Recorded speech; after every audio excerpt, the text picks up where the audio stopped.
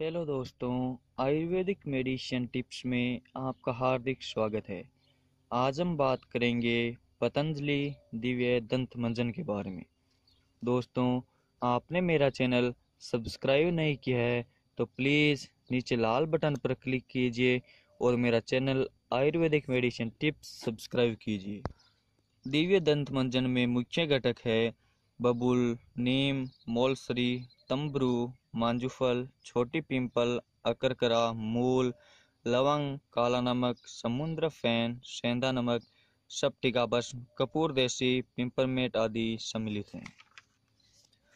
दिव्य दंत मंजन, इस मंजन के प्रयोग करने से मसूड़े मज़बूत होते हैं, जिसके फलस्वरूप मसूड़े से निकलने वाला रक्त दूर होता है, तथा दांतों में फंसे अन्न कण निकल जाते हैं।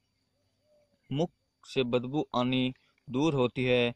लार ग्रंथि अपना कार्य अच्छी तरह करने लगती है। दांतों को स्वस्थ व चमकीला बनाता है। दोस्तों, इसकी सेवन विधि है। इस मंजन को मध्य की अंगुली से मसूड़ों तथा दांतों पर अच्छी तरह मालिश करें या टूथब्रश से भी इस मंजन को कर सकते हैं। इसके पश्चात पानी से अच्छी तरह सफ़ाई करें। रात को भी खाने के बाद मंजन को प्रातः काल की तरह प्रयोग करें।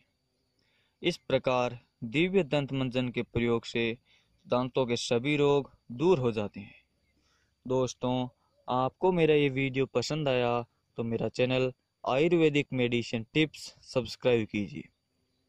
एक बार फिर मैं आपके लिए अच्छा सा वीडियो लाऊँगा। तब तक देखते रहिए। धन्यवाद।